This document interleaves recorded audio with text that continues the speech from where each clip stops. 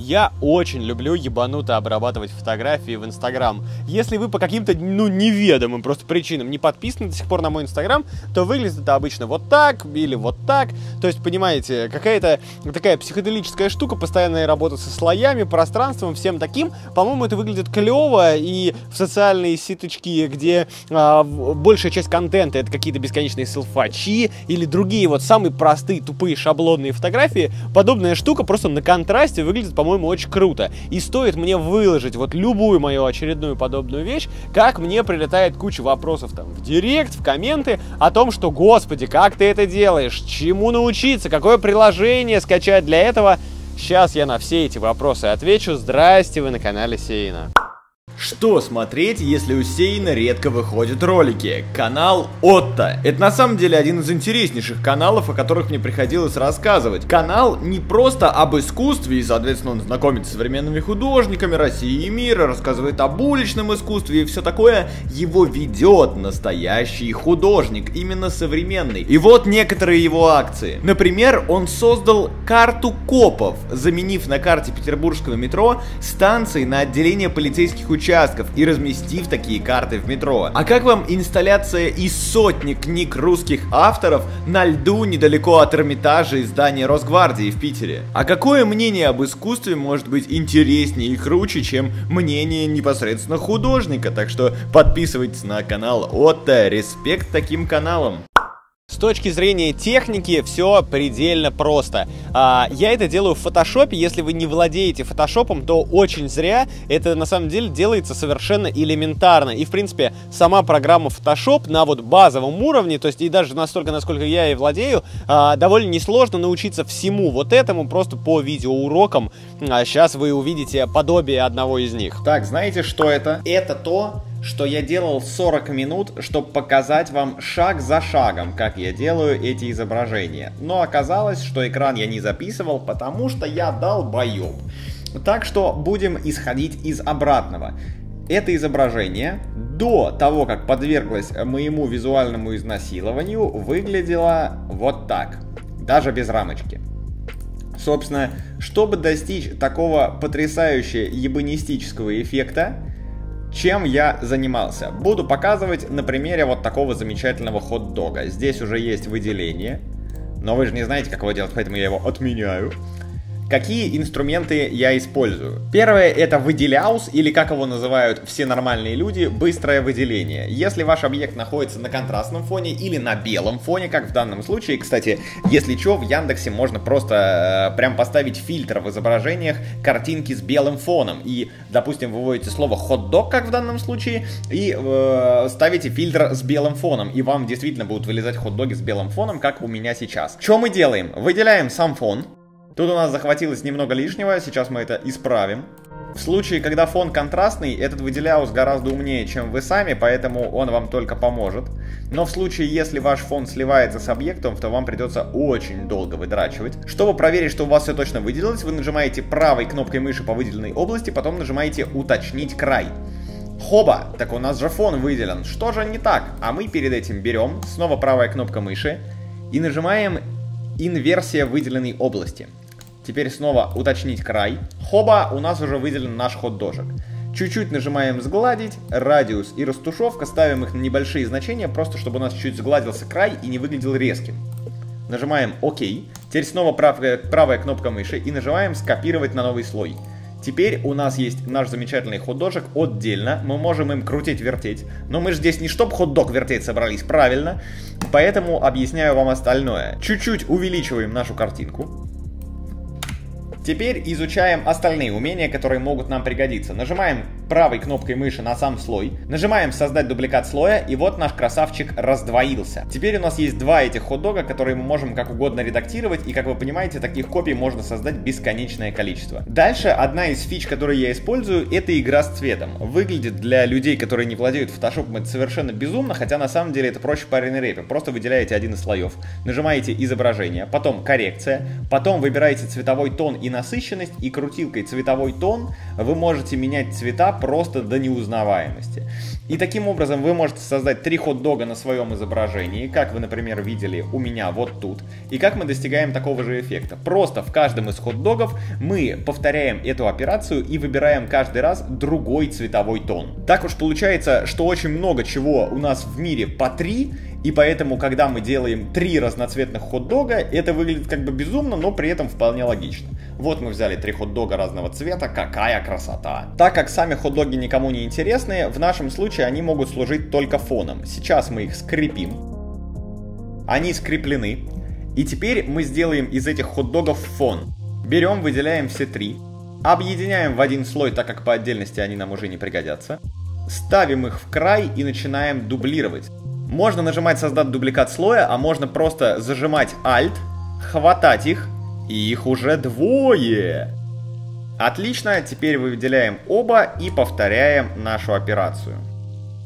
Мы не хотим, чтобы наш фон выглядел слишком уж однообразно, поэтому в очередном дубликате слоя мы не просто дублируем их через Alt, а нажимаем трансформирование, отразить по горизонтали, и как вы видите, они у нас в другую сторону. Это уже как будто бы другие хот-доги. Единственное, что мы забыли сделать, так это нажать Alt. Двигаем хот-дог, чтобы он красиво виднелся нам своей сосисочкой. Нажимаем Alt. И перемещаем слой, вот допустим, вот сюда. Заносим его назад и несколько раз повторяем операцию, чтобы заполнить всю картинку. Отлично, у нас есть превосходный хот-договый фон. И что нам с ним делать? Теперь берем просто нашу картиночку.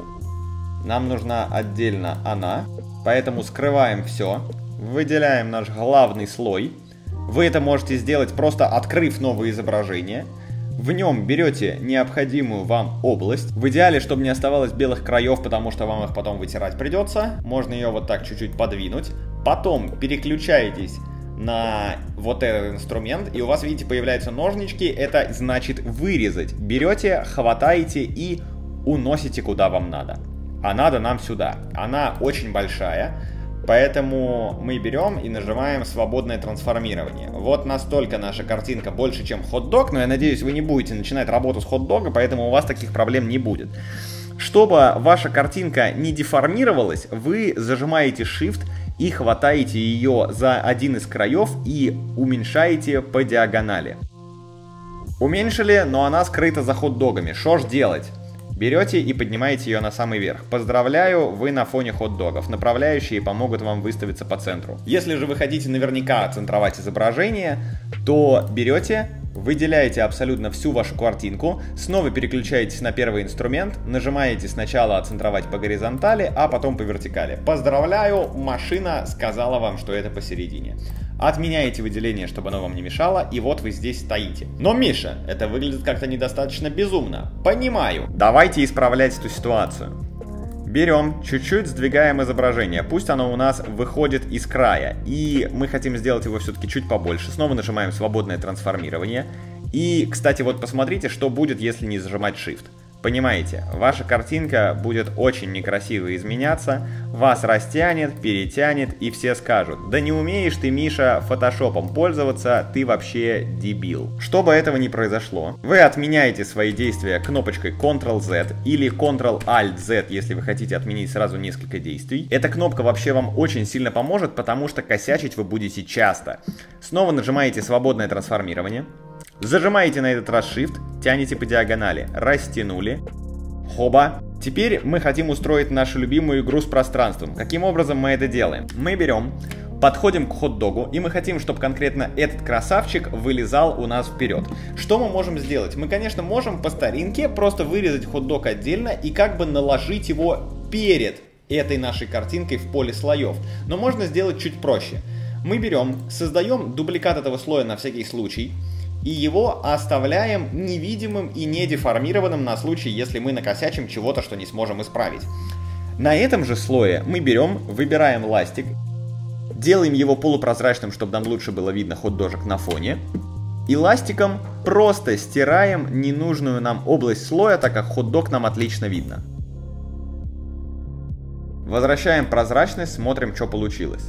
Получилось красотища. Можем проделать то же самое с верхним хот-догом.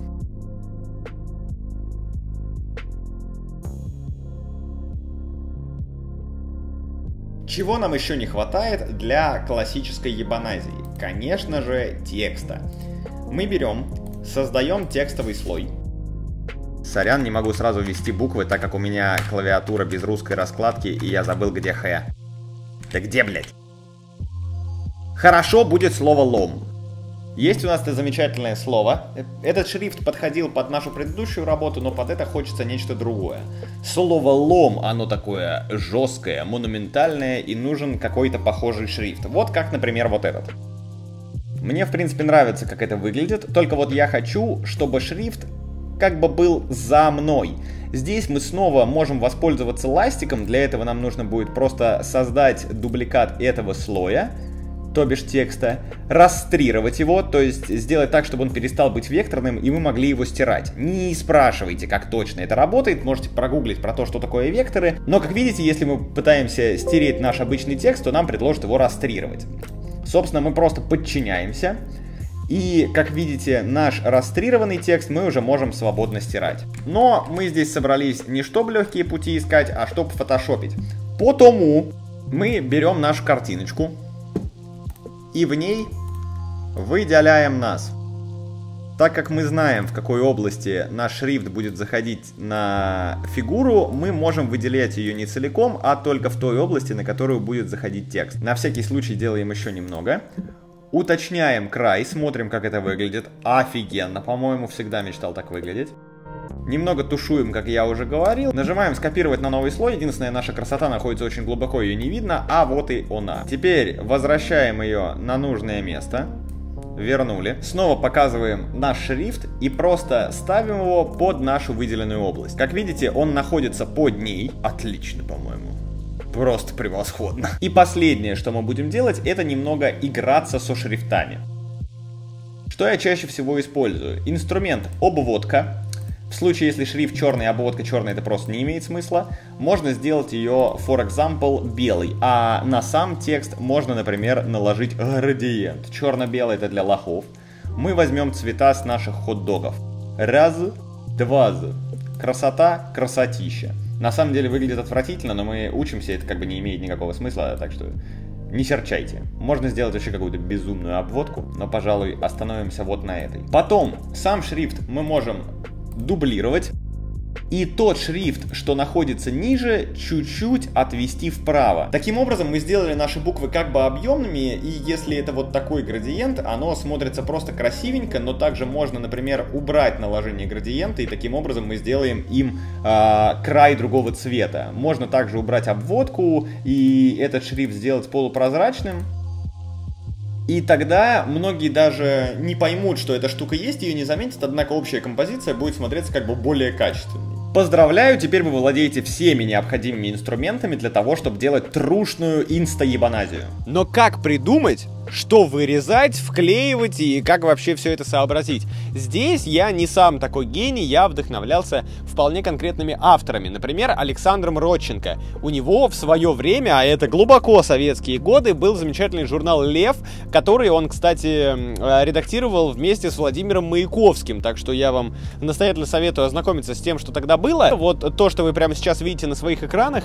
это, опять же, не бурное воображение одного Родченко, а это скорее символ эпохи. А, чем интересна конкретно эта эпоха? Тем, что а, в то время фотография вот успела появиться, и все уже свыклись с тем, что это работает. То есть фотография стала тем, что все знают, понимают, и появилось огромное количество талантливых профессиональных фотографов, у которых проснулась жажда экспериментов. И мне дико нравятся работы того времени. То есть будь то фотографии, коллажи, вот эти Роченко сумасшедшие, это все делалось, кстати, руками, тогда фотошопа не было, и они действительно вырезали фотографии, наклеивали это все, получали вот такие сумасшедшие композиции, но не менее интересна работа, например, с обложками альбомов там 70-х, 60-х, 80-х некоторых групп, но в основном это такое хиппи и вот их последователи, которые так или иначе связывали свою музыку с, с какой-то психоделичностью, вот эти все выходы за грани реальности, вы это 150 раз слышали.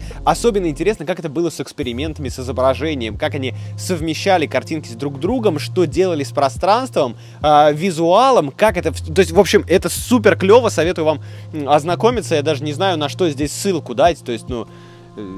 Может, в группе моей ВКонтакте что-нибудь найдете, заходите. И фишка в том, что эта эпоха уникальна, потому что потом все наследие, то есть все те итоги экспериментов, которые проводились в то время с изображением, они ушли в основном в профессиональную сферу. И а, все вот подобные приемчики, знания и фишечки, ими в основном располагают всякие дизайнеры и прочие люди, которые занимаются этим по долгу службы. А когда ты занимаешься этим по долгу службы, у тебя как бы накладываются дополнительные ограничения, потому что э, ты, во-первых, делаешь проект, а, допустим, если у тебя это кто-то заказывает, то тебе необходимо придерживаться стилистики фирмы, каких-то э, при этом ограничения ты в собственные идеи ставишь, потому что тебе нужно в чужую концепцию вписаться. А также ты ограничен некими корпоративными вот факторами, которые на тебя влияют, и то же самое относится и вот просто к конъюнктуре, которая вокруг тебя есть, то есть вот сейчас модно вот эта штука, сейчас заказчик любит вот это, и ты этим всегда ограничиваешься, когда ты работаешь работаешь с этим. А когда ты просто челик, который хочет вести свой инстаграм клево, то здесь ты не ограничен ничем, кроме собственной фантазии, там, рамок приличия.